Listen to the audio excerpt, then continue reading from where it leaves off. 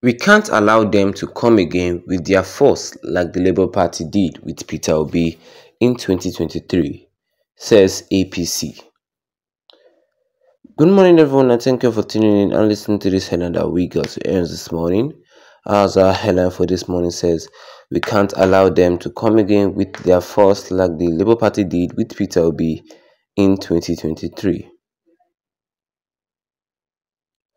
Well, the All Progressive Congress APC has outlined its strategy to weaken opposition parties ahead of the 2027 presidential election.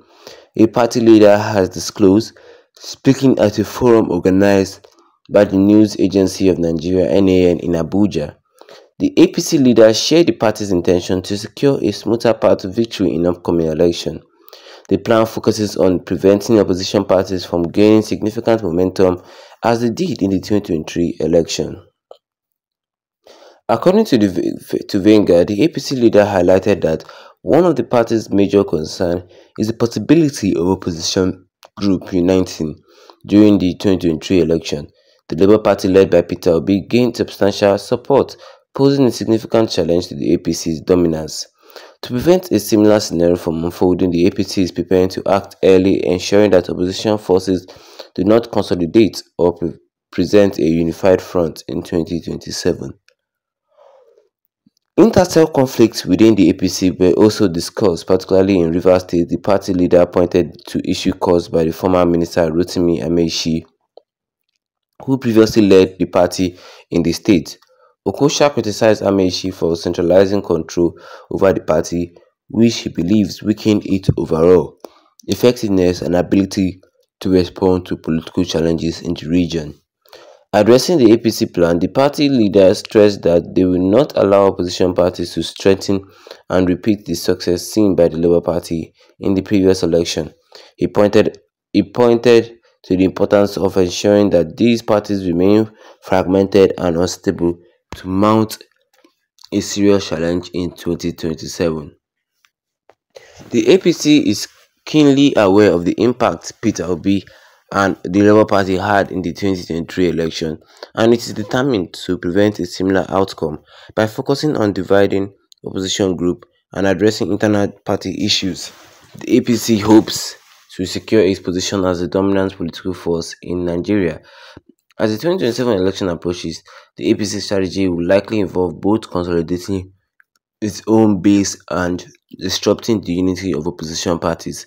The party's leadership believes that early and decisive action is necessary to maintain its grip on power and avoid a repeat of the challenges faced during the previous election cycle. In his words, we can't allow them to be strong. We will not close our eyes and watch them become united and come again with their force like the Labour Party did with Peter Obi, its presidential candidate in the 2023 presidential election. And that is what we have for you guys concerning this headline today this morning, which says here that we can't allow them to we can't allow them come again with their force like Labour Party did with Peter Obi in 2023 election, says the APC.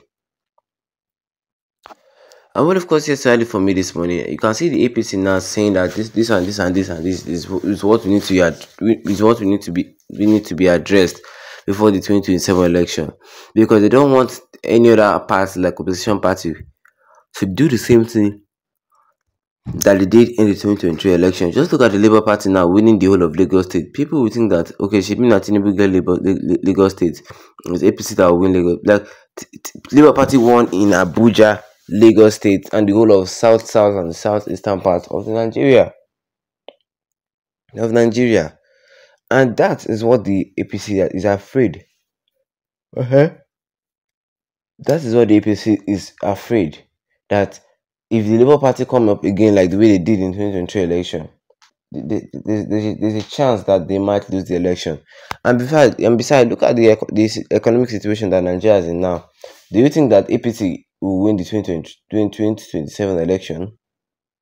Yeah, just look at um, the um, the economic problems of Nigeria that right now, do you think that um, the APC will, will, will win the 2027 election? so that is another problem for them because the people they, they know that people people has given hope on them. They bought them in in 2015 to make a difference. What did they do? They did nothing. 2023 they stole the election. What did what are they still doing? They are still doing nothing. So people don't have hope in them anymore. Yes people don't have hope anymore. Well nelson nelson at the comment section says that uh, Obidients were not mobilized by obi but are this disillusioned young nigerians fed up with the corrupt leaders. They view obi as someone capable of effecting the change they yearn for. Yes and obi is capable of doing that. And he's capable of doing that. He is capable of doing that. Well, D Big Mark said that God will weaken APC, stumble their candidates, defeat them, and remove them in 2027. Amen. The, the problem that Nigeria is facing right, right now is APC. And if that APC can go, believe me, Nigeria will have good governance. Oh. If I says that idiot APC people, you won't allow other parties you, you won't allow other parties may you may, may, may, maybe you have killed them rubbish the real hope that apc have right now for the 2027 election. It is just by the election do the same way that they're doing it. it is just by the election. No hope say people will carry that vote the voters card and still vote for apc again. I don't think so. And what do you guys think? Oh, drop a comment in the comment section. Don't forget to leave a like on the video. Then tap the subscribe button. The big red one with notification bell so that anytime I have a new video, you'll be the first to get notified about it. Once again, thank you for tuning in and have a wonderful day ahead of you.